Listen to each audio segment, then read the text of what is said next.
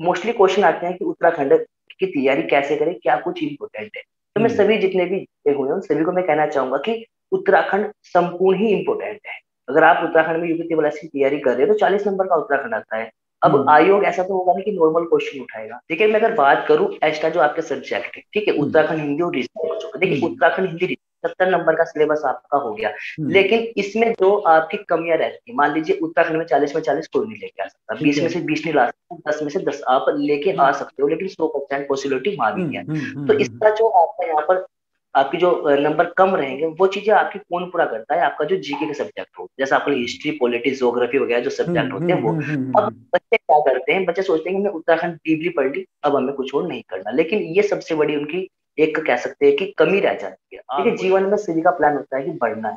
तो मेरा प्लान भी बढ़ना है। आज पीसीएस निकाल लेंगे और अगर सब कुछ सही रहा ऊपर वाले का अगर आशीर्वाद बना रहा तो एक आई भी निकाल मैं दोस्तों आज मैं आपको एक ऐसे शख्स से मिलाने वाला हूँ जिसने अभी अपने छोटे से जीवन में लगभग छह से सात जो सरकारी एग्ज़ाम्स हैं वो यहाँ पे निकाले हैं। तो आज आपको शुभम सैनी जी अपने टिप्स के बारे में बताएँगे, जो उनकी आपकी, यहाँ पर उनने जिस स्ट्रेटेजी को फॉलो किया और ये छह सात एग्ज़ाम निकाले, और आप देखिएगा बहुत से लोगों का तो सपना एक एग्ज़ाम निकालने का होता है, लेकिन शुभम के बारे में मैं आपको बताऊँ तो इस समय शुभम जी उत्तराखंड सरकार में वन बीट अधिकारी हैं, जो कि रामपुर मंडी में इनकी पोस्टिंग है।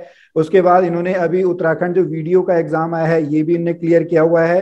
लोअर पीसीएस प्री का एग्ज़ाम क्लियर किया हुआ है। इससे पहले इन्होंने एनटीपीसी का रेलवे का और ग्रुप डी जो एग्ज़ाम है, वहाँ पर वो एग्ज़ाम उन्होंने सब क्लियर किए हुए हैं।